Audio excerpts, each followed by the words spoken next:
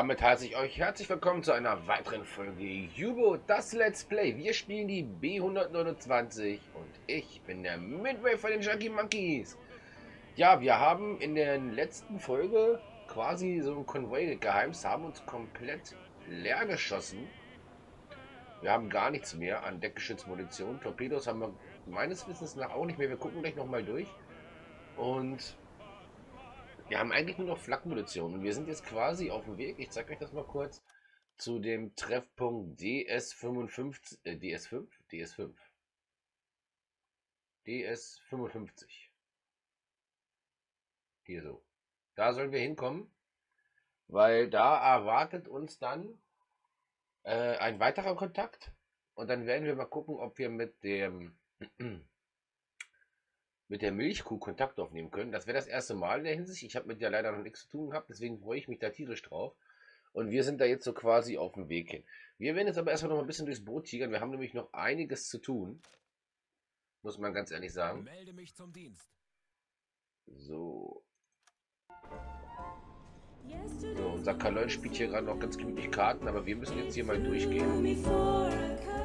Weil mich würde jetzt mal interessieren, wie ist der Stand der Dinge? Okay, Torpedos haben wir gar nicht mehr. Wir sind komplett leer geschossen. Alles weg.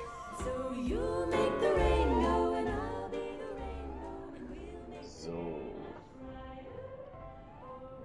Soweit sieht es eigentlich ganz gut aus. Lenzpumpe könnten wir mal einschalten, um das bisschen Wasser noch aus dem Boot rauszukriegen hier. Und ihr seht, hier ist eigentlich ganz ruhig an Bord. Und dann werden wir gleich nochmal in die Kombüse reingucken und ins Lager wegen der Deckenschutzmunition. So, sechs Stück haben wir noch. Kombüse. Fisch reinpacken. Zack. Für Abwechslung so. So. Upale. Hallo, lass mich mal durch hier. Ja, unser Treibstoff geht auch langsam zur Neige. Also es wird langsam Zeit, dass wir wirklich diese Milchkuh auffinden.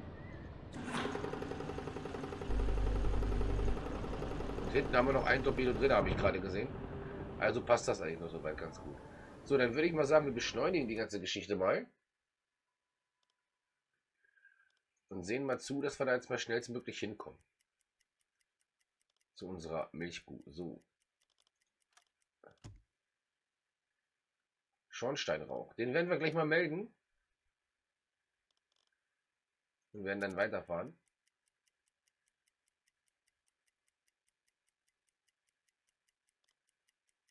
So. Und ich sehe gerade, es wird schon wieder Zeit für einen Schichtwechsel. Dann werden wir Bounty jetzt mal in die Ruhepause schicken. Midway schicken wir an die Beobachtung, der ist schon auf dem Weg. Und Leutnant Werner auch. Und Dufti geht mal wieder an die Dieselmotoren. Wir haben noch für 6700 Kilometer Treibstoff. Wir sind aber auch quasi fast am Ziel. Ne? Also ist schon okay. Wir sollten vielleicht auf kleine Fahrt umschwenken. Wir sind dann zwar ein bisschen langsamer, aber äh, falls wir jetzt diese Milchkuh nicht treffen sollten, dass wir zumindest mal irgendwo hinkommen, ne? Weil ich weiß es gar nicht. Hier sind zwar Häfen, aber warte, wir mal gucken. Wir gehen mal kurz zack auf normale Fahrt. Was steht denn da? Ähm, neutraler Hafen, Handelshafen. An der Tredebuch. Man vermutet, dass Geheimdienste beider Seiten hier ansässig sind. Importierte Ware, Lebensmittel, Gummi, okay.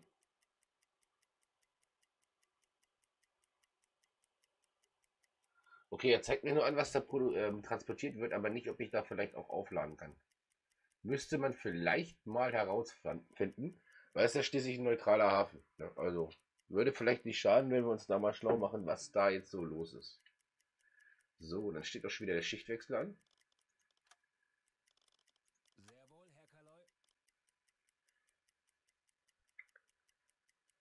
So, ein bisschen schneller. Treibstoff 32 Prozent. Könnten wir schaffen. Einmal Autosave. Muss sein.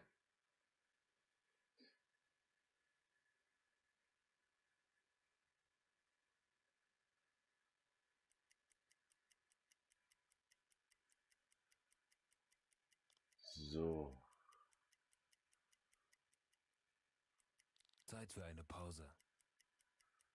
Was ist denn da schon wieder los? Jetzt ist wieder Heiden durcheinander hier. Du sollst doch in die Ruhepause und du sollst doch daran. So, und dann schicken wir Werner an die Dieselmotoren, um Kraftstoff zu sparen. Genau so. So, das sieht doch schon mal ganz gut aus.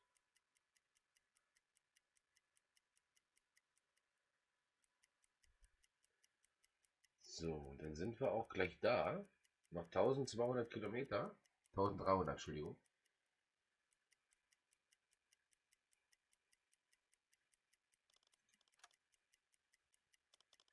Jawohl, Herr Kaloy. Jawohl.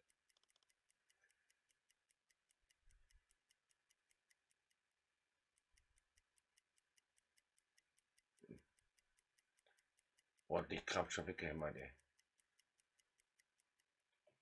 Hoffentlich ist diese Milchkuh jetzt auch wirklich da. Sonst haben wir hier bald ein Problem.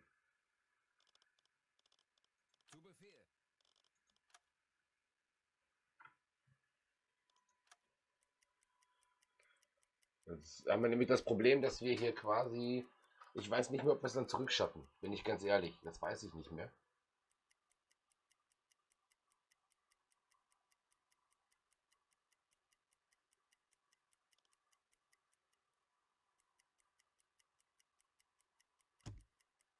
Kraftstoff wird schon niedrig. Aber wir sind gleich da. Jawohl.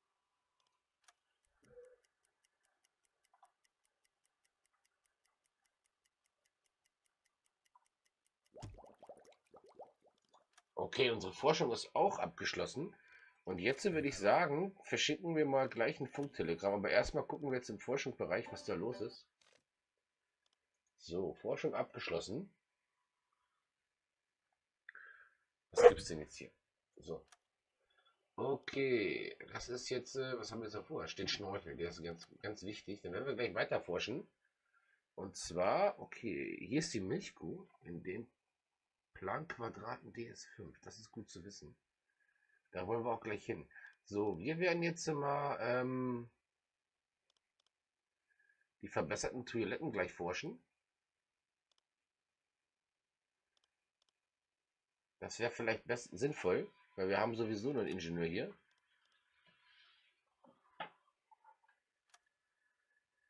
So, zack und auf geht's. Okay, dann machst du jetzt weiter. So, erforschen. Ähm, warte mal. Vielleicht sollten wir auch direkt in den Planquadraten DS5 sein, bevor wir da jetzt irgendwelche Funkkontakte aufnehmen. Wir sind in DS5. Also werden wir jetzt mal, Kapitän. Herr Kaloy. wir werden jetzt mal Kontakt aufnehmen.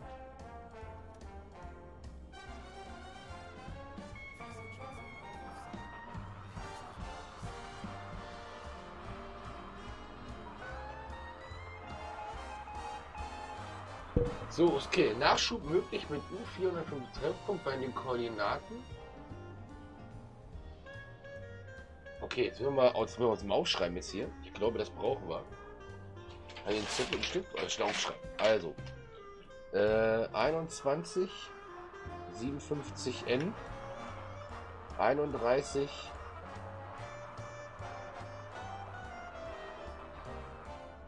...25 West. So, die Milchkuh wird bei diesen Koordinaten einen Tag auf sie warten. Koordinaten auf der Karte hinzugefügt. Okay, das ist auch... Okay, aufschreiben brauchen. Bestätigen. Okay. Dann werden wir jetzt mal gucken, wo wir die hier finden. Da ist sie. So, ach du Kacke, das sind 186 Kilometer. Das schaffen wir gar nicht. Wir werden AK fahren. Wir holen jetzt alles raus. Dufti ist an den Dieselmotoren und dann gehen wir jetzt Kette in die Richtung. Und sehen zu, dass wir da hinkommen.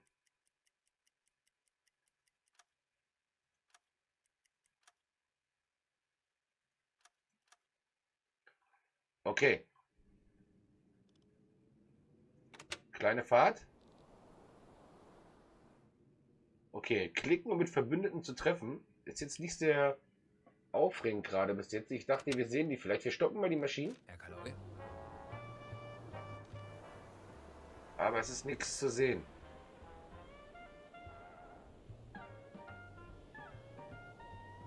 Okay, dann klicken wir mit Verbündeten treffen. Okay, neues Funktelegramm, neuer Kontakt. Nachschub möglich. Sichtkontakt entdeckt Koordinaten. Okay, wo sind sie? Da sind sie. Da ist die Milchkuh.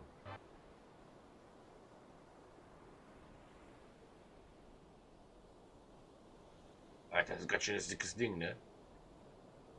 Da machen wir ein Foto von.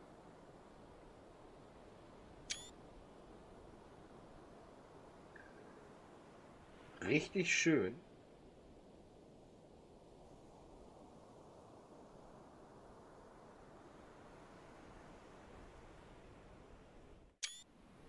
So, dann werden wir jetzt mal Fahrt aufnehmen und da mal hintigern.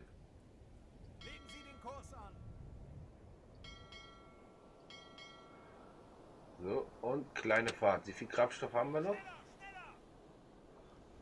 Für die Wegstrecke, die schaffen wir. So, okay, dann werden wir jetzt auch nur so langsam aber sicher alles besetzen, um sicher zu gehen, Kapitän. dass wir hier nicht aus der Luft angegriffen werden.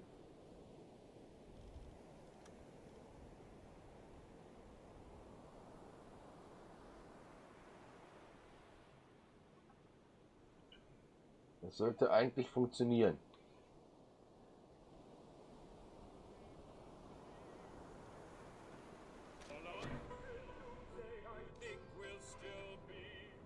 So, alle Mann auf Posten. Schwarz an der Flak, Bounty am Deckgeschütz, Midwehr am Ausguck.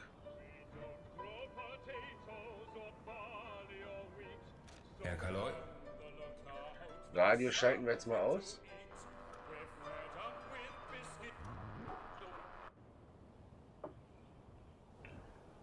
Dann mal schauen, was uns da jetzt gleich erwartet.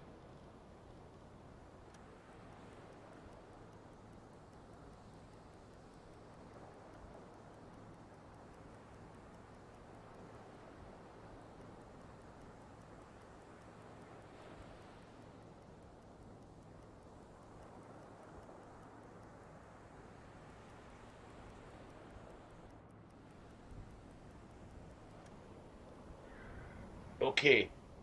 U491. Das ist das Boot, die Milchkuh.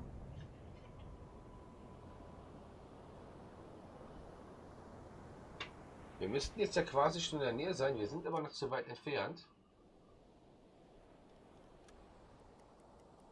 Aber mal ein bisschen weiter ran. Halbe Fahrt. Und Stopp!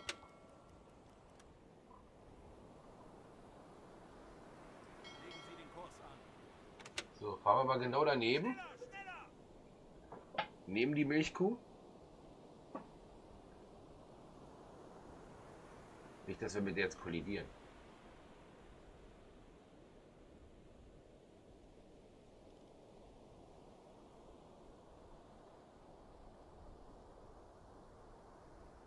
Ja,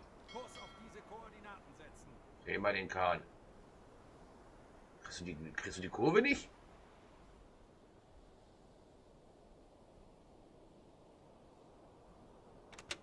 Alle Maschinen stopp.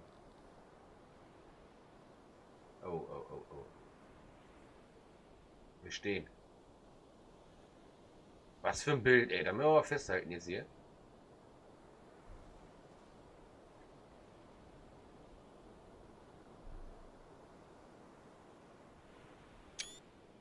Sehr schön.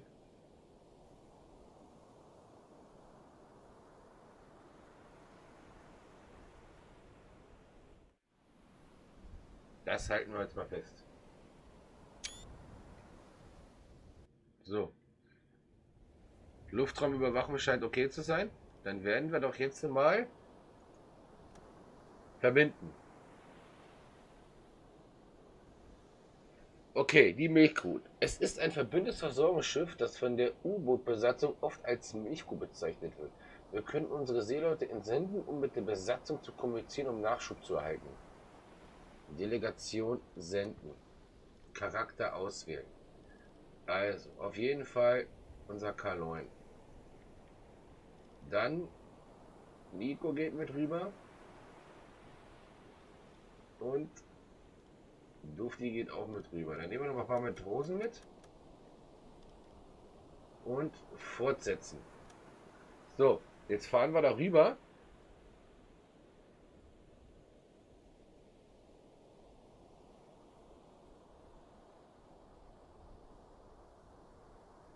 gucken, was uns da jetzt erwartet.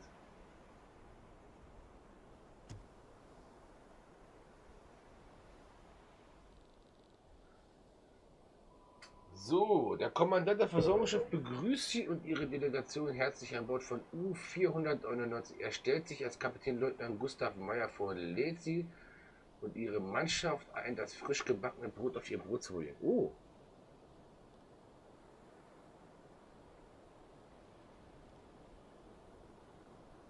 Okay, wir haben jetzt hier einige Möglichkeiten. Wir können zum Beispiel schon mal ähm, die Überlebenden, die wir übernommen haben, übergeben. Da sind wir die schon mal los. Das ist schon mal gut.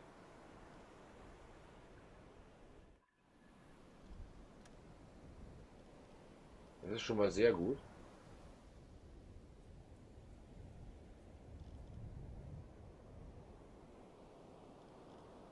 Und dann äh, fragen wir mal nach der Einsatzgeschichte. Kapitän Leutnant Gustav Meyer macht einen schweren Seufzer und erzählt, dass es für sie bereits ein harter Einsatz war. Sie haben bereits zwei andere U-Boote versorgt. Beim zweiten Versuch wurden sie vom Flugzeug angegriffen. Oh oh. Und dabei starben zwei seiner Männer. Er erklärt, dass sie noch junge Männer waren, gute Seeleute und doch bessere Menschen. Das hält er inne und wird plötzlich sehr traurig. Okay, wir bedauern den Verlust auf jeden Fall. Das ist hart. So, und dann sehen wir uns jetzt mal die Ladung an. So, und dann können wir jetzt hier quasi aufrüsten. Das gefällt mir, Leute. Das gefällt mir. Das gefällt mir richtig. Aber ich würde sagen, wir gucken uns das ganz genau in der nächsten Folge an, meine Freunde. Ich hoffe, die Folge hat euch gefallen. Wenn ja, lasst mir einen Daumen nach oben da, abonniert den Kanal, aktiviert die Glocke, erzählt mir mal von euren Meinungen in den Kommentaren mit der Seekuh, würde mich sehr interessieren. Ich verabschiede mich von euch, wünsche euch noch einen schönen Tag und sage Tschüss, bis zum nächsten Mal.